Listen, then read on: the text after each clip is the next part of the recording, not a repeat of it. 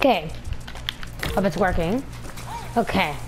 Not many players knows how to get on the ele- elephant.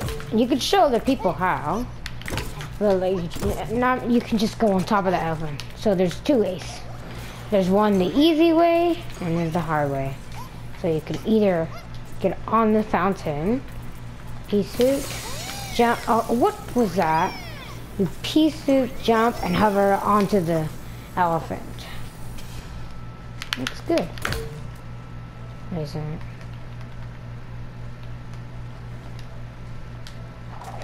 Okay, so while you're up here, multiple things. Okay, and you just show up other people how, and there's this other hard way that I found out first before I knew the other one. So look, you got a pea suit, get off on this. Excuse me, my pea suit didn't go. Let me try that again. Technical difficulties. But what you do, you go here, use your pea suit, jump on this, and you're still able to hover. It just doesn't show. You hover, you just hold it, and if you keep going forward, you're, lucky enough to just hover. Like, not really hover, just stand on that one spot. You go from here, just on this, and you just jump here. Bam. Okay, that'll do.